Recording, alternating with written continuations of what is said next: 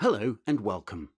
Today we will be learning what are odd and even numbers. Let's start with even numbers. An even number can be divided exactly by 2. For example, here are four apples. If we pair them into two, we have two pairs. This means they can be divided by 2, so they are an even number.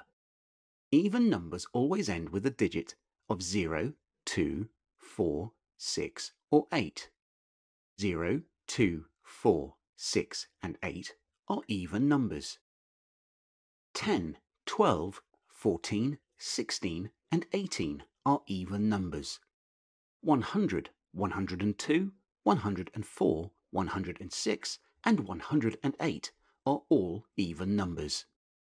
So what is an odd number? An odd number is a number that cannot be divided exactly by 2. For example, here are 7 oranges.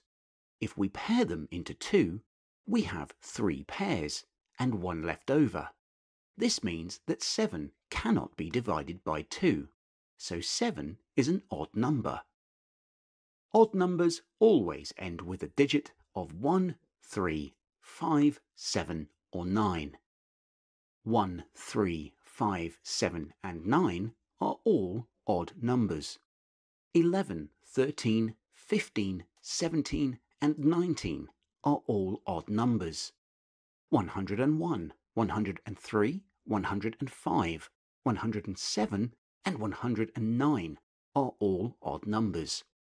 Time for a little quiz.